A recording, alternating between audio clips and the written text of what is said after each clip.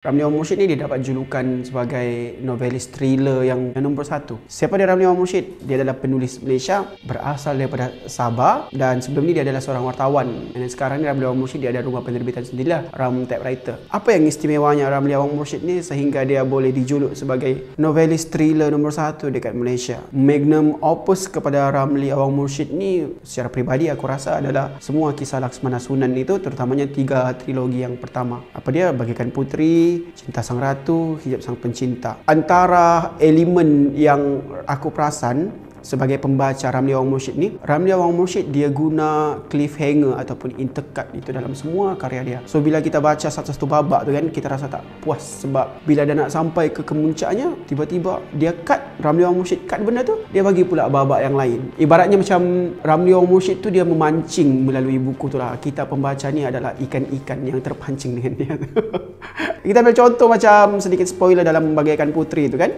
Baru sahaja dicerita tentang Haryani tercampak kembali ke masa lalu ke zaman Kesultanan Melaka. Kita nak tahu nasib Haryani itu macam mana? Puff, dia tukar babak pula pergi tempat lain.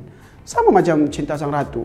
Kita baru nak kenal Ratna, Siapa Ratna ni? Dan tiba-tiba dia bagi cerita balik pasal Saifuddin. Stres. Tapi kita tak sabar nak tahu. Rasa habis cerita tu, novel tu dalam masa satu hari. Itu kekuatan paling besar kot Ramli Awang Mursyid ni. Buku yang ditulis oleh Ramli Awang Mursyid memang kebanyakannya thriller. Selain daripada kisah Laksmana Sunan ni pun, dia banyak tulis kisah-kisah berkenaan dengan penyiasatan, pembunuhan. Contoh macam Fiction 302 itu. Kisah pembunuhan bersiri and then turun naik mahkamah. Selain daripada tu dia ada sentuh juga kisah seram sedikit pak dalam novel yang bertajuk Ungu Carmila. Yang paling awal pun Pepan, Carlos. Antara novelnya yang dah dijadikan filem macam Tom Birwo, dia cerita tentang semangat hutan, kepercayaan-kepercayaan orang Sabah. Tapi walaupun banyak dia punya selok belok, kita boleh tengok corak penulisan kesannya tu dia lebih kepada thriller. Bahkan kisah Laksmana Sunan yang fantasi ringan ini secara peribadi aku labelkan kisah Laksmana Sunan itu sebagai fantasi ringan. Dia campur aduk dengan kisah sejarah tapi cara execute penyampaian cerita tu masih secara thriller. Kalau untuk Malaysia,